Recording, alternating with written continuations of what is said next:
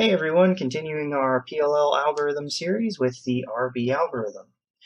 This algorithm is just the mirror of the RA algorithm, and our algorithm and the algorithm we're going to use to solve this position is in fact just the left-hand variant. So here we go. So we'll take a look at what's correct here. We have on the face, we have two greens. On the right side, a block and a wrong. On this side, just one, and on the back, just one. So the top corners need to swap, the left and front side need to swap.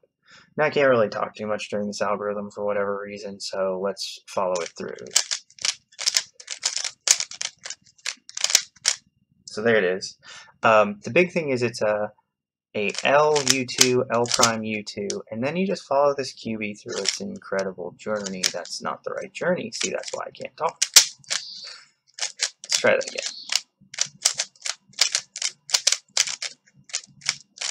Okay, there we go. Now we're set up again. So one, two. It looks much worse than it is, but yet again, I'm just watching this as it goes through this, watching that white cubie fly on through. So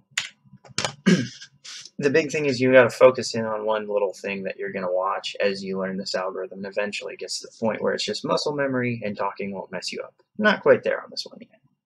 Anyway, like, comment, subscribe. Let me know if you have a better algorithm for this uh, specific uh, position.